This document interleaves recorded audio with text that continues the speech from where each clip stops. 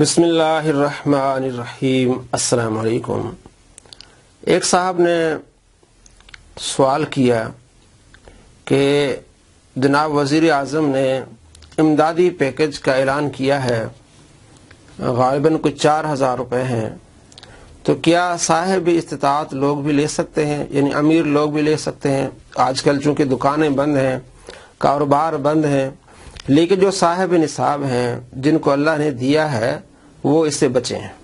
اس لیے کہ جتنے پیسے آتے ہیں، امدادی پیکیجز وغیرہ آتے ہیں، ان میں سے کثیر تعداد ان پیسوں کی ہوتی ہیں جو زکوٰۃ کی ہوتی ہیں۔ جو مسلمان زکوٰۃ دیتے پھر اس کو جمع کیا جاتا ہے۔ تو صاحب استطاعت یعنی صاحب نصاب لوگ اس سے بچے، وہ نہ لیں۔ یہ غریبوں کے لیے ہے۔ غریب استعمال کریں۔ آپ نہیں لیں گے تو یہ بہتر ہوگا۔ زیادہ سے زیادہ غریب مسلمانوں تک پہنچے گا۔ تو آپ ایسا کریں کہ آپ غریبوں کی مدد کریں مزید۔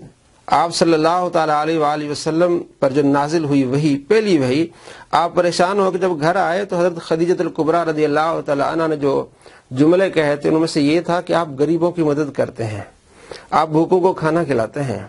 اور صحابہ کرام علیہ مردوان جب آپ علیہ السلام سے سوال کرتے تھے، اسلام کیا ہے؟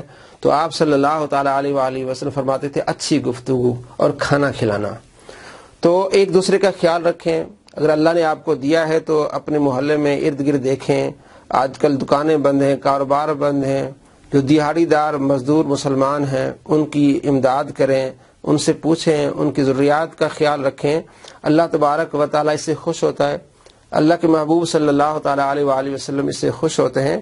یہ صرف حکومتوں کا کام نہیں، ہم سب کا کام ہے۔ ہم سب مل کے مسلمانوں کی مدد کریں۔ ان حالات میں ان کا ساتھ دیں۔ غریبوں سے پوچھیں ان یتیموں کے سروں پر ہاتھ رکھیں۔ اللہ تبارک و تعالی ہمیں دونوں جہاں میں خوش نصیب فرمائے، پاکستان کو ترقی نصیب فرمائے، اور اس وبا سے ہم سب کو محفوظ فرمائے۔ السلام علیکم ورحمۃ اللہ وبرکاتہ۔